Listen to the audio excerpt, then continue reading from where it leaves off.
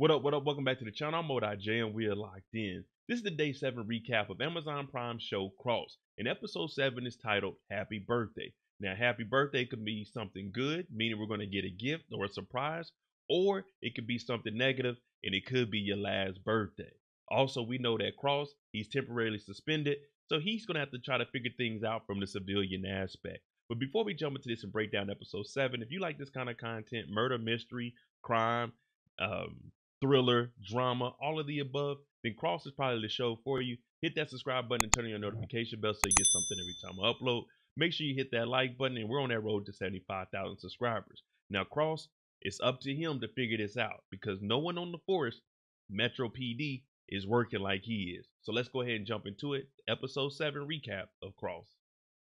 Starting the episode off, we see Ed down in the basement of this other building where he relocated Shannon and on the TV, we hear a guy talking about the state of Florida and lethal injection. Now, there's three different vials that will go into the body one to numb the body, the second one to remove the pain, and then the third is going to actually stop the heart. So, what he's doing is actually replicating the exact same thing that Aileen went through, but he's doing it to Shannon. At the cross house, we see young Damon in the kitchen. Grandma's making the food, but you know, she be giving us some some healthy snacks. We don't want that in the morning. We want sugar. We need our sugar. But she looks at his shoes and she tells him, You need to throw those shoes away. Alex comes in and says, Yeah, she did the same thing to me when I was younger with my J's, but I got mine out the trash can. The only thing is, I couldn't sit down for a whole week. Basically saying, I was supposed to throw away my busted up J's, but I got them out the trash, and Nana Mama whooped me. Can't whoop kids anymore. Now, Nana talked to the AG. Now, when the AG came over, she gave her some information about who Deidre's accomplice might be or someone that was very close to her. Now, we hear Nana Mama say, You need to go find a guy by the name of Peter. And she's saying you and Sampson. Now, she doesn't know about the blow up between Sampson and Alex that they had in the locker room. She's just like, Listen, this is a, a suspect right here that you probably need to go ask a couple of questions to. John goes over to talk to Lieutenant, but we just found out Lieutenant is actually working with Ed. She's the one that shot Mike Grissom inside the, the safe house. Now, that's because he was a witness. So, what she's doing is trying to downplay it, and she's trying to see how much information John has because she knows how him and Alex work. They figure out a lot. So, what she does, make him feel comfortable. Hey, what I want you to do is be the godfather to my baby because he needs a male figure in his life. So, John, He's like, okay, I can do that. But she also says, anything you find out, let me know immediately. Now, Cross, where does he go? He goes to meet up with Senator Caitlin because he thought, see a ghost. You seen a ghost. So he remembered Senator Caitlin and he goes and meets up with her. Now, her security detail, they're very weak. They didn't have the doors locked. So Cross jumps in here and he's like, What does Ed Ramsey have on you? So she tells all of her security to leave. And she's like, Listen, what he has on me, I can't really go into too, too much detail about it. But Cross is like, I'm not trying to hear that BS. You need to tell me what you know. And I believe that you've seen Shannon at the house. She's like, Well, I did see something and I thought he wasn't going to take it that far, but he did. So Caitlin, she's getting exposed and she's willing to give up a little bit of information, however much to save her life. Ed is really taking this serious, replicating these serial killers and how they were unalived in their last meal. So what he tells Shannon is, I'm gonna give you your last meal, whether you want it or not. Now I can either use a tube and give it to you, or you can actually eat it and drink your coffee. But I'll also give you a phone call, one last phone call to your parents to tell them that you are good and you're not missing before he unalives her. Now Shannon, she's not saying anything, and we know the extreme measure that she went through to try to get herself out of this by stabbing herself on the face, running away, attacking them, she says, Let me just have my phone call. Sampson calls a meeting between two detectives and the FBI agent, and then they also call Alex. Now, he's been doing his own research and investigation since Alex is temporarily suspended with no badge, no gun. He really can't be involved in it. But when they get here, of course, the number one priority is finding Ed so they can get Shannon. But then Cross says, I have very good knowledge that Shannon cut herself and it's an actual minor setback, meaning they need a doctor, and we know that there was a doctor, a doctor to fix her face.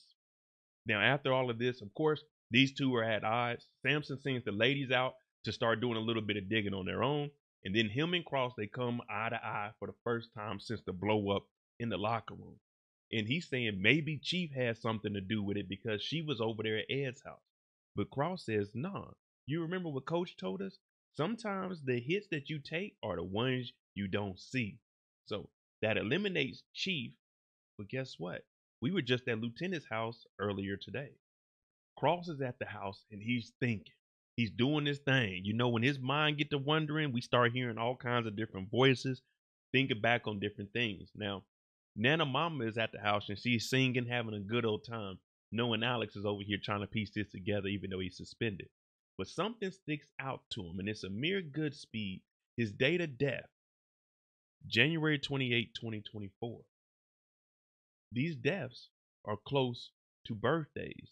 The title of this episode is called Happy Birthday. Does that link Shannon's birthday to maybe the day that she's going to be unalive?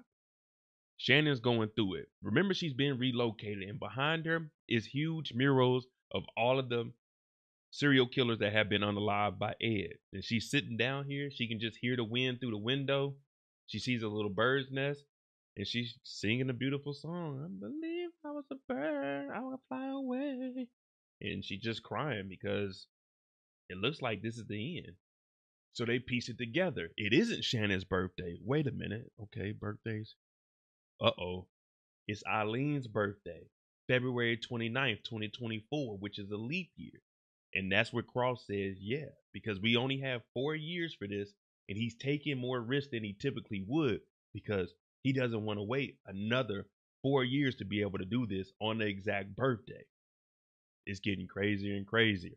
But that's why you need a team of individuals to come together because four brains are better than one.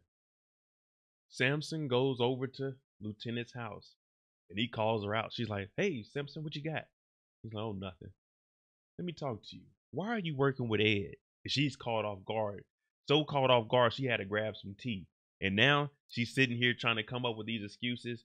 Well, he just he just uses you and you, you really don't realize it. And I was trying to have a baby, me and my wife, and he played us, but we paid enough. Sampson is John's like, you didn't pay at all.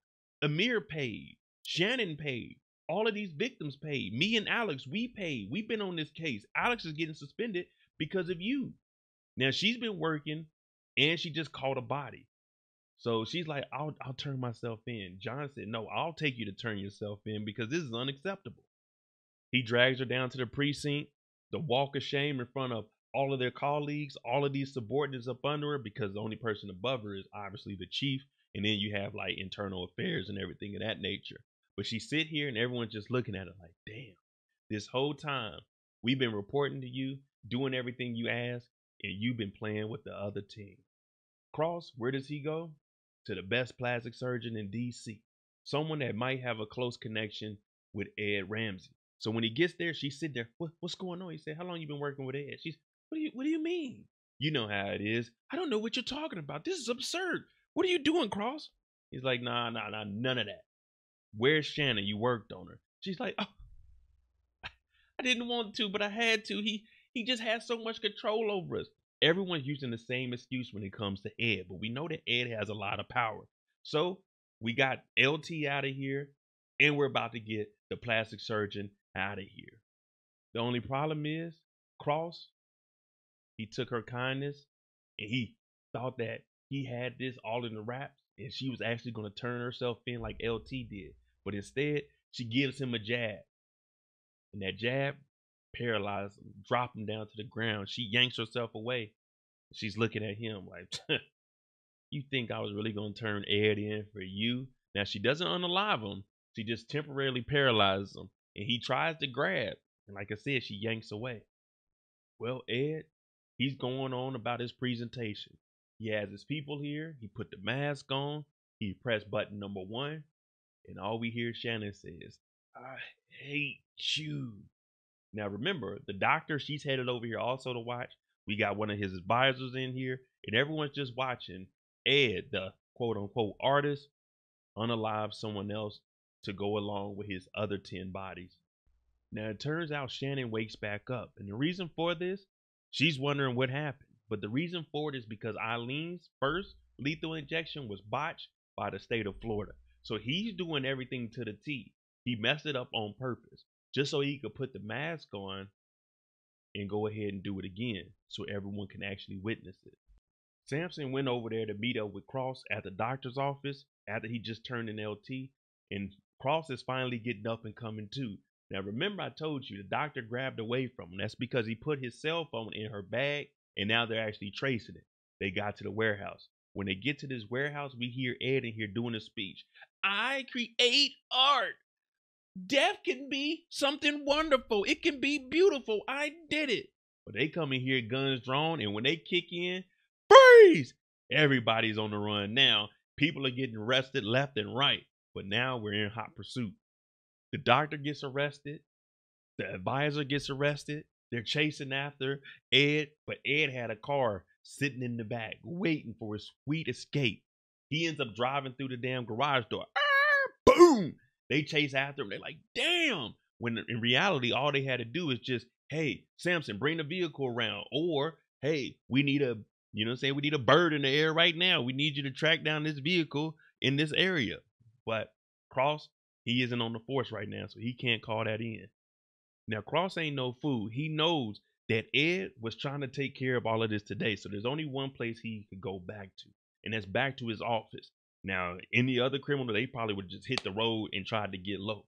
But Alex knows him better than he knows himself, and he mentioned that at the birthday party. So we see him with a syringe, and he ends up stabbing himself in the neck to pass out. Now, Alex is trying to recover him because he's thinking maybe he killed himself. But John says, We gotta go, man. He's done. Now, the time for the recital is about to happen. Nana Mama actually has Elle come over and says, Can you do me a favor? We like each other. I enjoy you, and the kids would like to see a familiar face also. Would you be able to take these kids to this rehearsal before he actually has his young Mozart? And Elle is saying, Yeah, because she definitely likes Alex and she enjoys the family. So she's trying to earn her way in, basically earn her keep and show that, okay, I can do this. So Nana Mama, she entrusts this Elle, and Elle is like, okay, I got you. You remember that name Peter that Nana Mama received from the Attorney General that she told Alex about? Well, we follow up on Peter. When we get to his house, it's a shrine about Alex Cross. We also see that he has news articles and news clippings of Deidre Nolan sentenced to life in prison. And on the wall it says, Kill Alex Cross. You must pay for what you've done. So Alex is thinking, What the hell have I just stumbled on? This guy says I hate effing Alex Cross? This is some weird stuff. This is weird. Nana Mama's friend, the lady from the young Mozart, she's up here and she's like, Man, this next kid coming up for the rehearsals, Damon, I've got real close with his family. They're very loving, they're very caring, and this young boy has a lot of talent. So it takes a village to raise a young man. And we got young Damon coming up here, Elle's out there with Jeannie, and life is good. Other than Alex Cross finding out that somebody by the name of Peter is after him.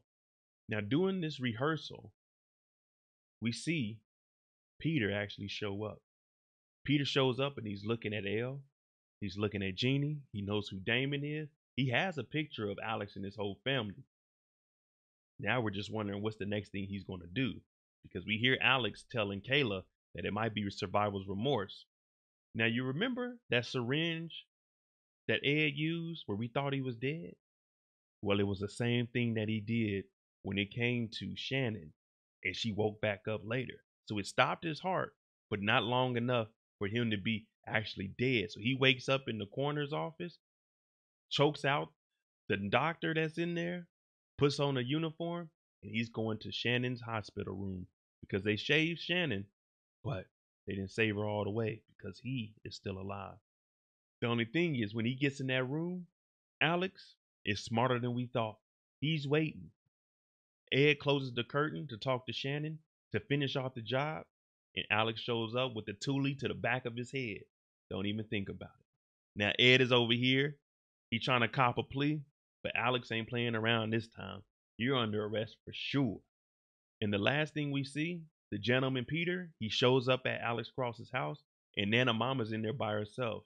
And well, she tries to fight off. And as the screen goes black, all you hear is ooh, ah, ooh, dang, wow, ooh, sheesh. All right, there you go. Episode 7 recap. We have one episode left. Let me know what you think about this Peter character. And was that a good move by Ed to take the same thing that he did to Shannon and apply it to himself to try to get out that gem? Of course, it didn't work, but it was a great idea and concept. It's just Alex Cross is a little bit smarter than we were really initially led on to in episode one. Let me know what you think about this. We have one episode left. I'll see you tomorrow. My name is MoeDotJ. If you like this kind of content, hit that like button, hit that subscribe button. Thanks for watching. I'm out. Jimmy on the beat, boy.